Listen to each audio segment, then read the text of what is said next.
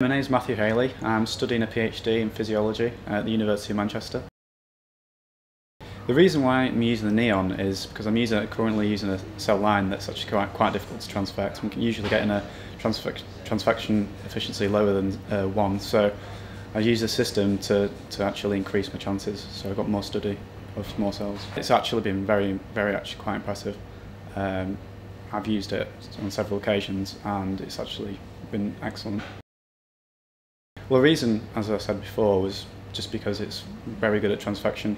Um, increases the efficiency, so you can actually study more cells. The speed that you can actually do it at, uh, in comparison to the reagent-based transfection systems, it's a lot quicker. You can do it within five minutes rather than uh, an hour or so. Well, just quite simply, I just need to trypsinise my cells, detach them from the bottom of the plate, and then I can just re replate them and then get them to um, incubate overnight, and then it's simple. Simple as that, just transfected.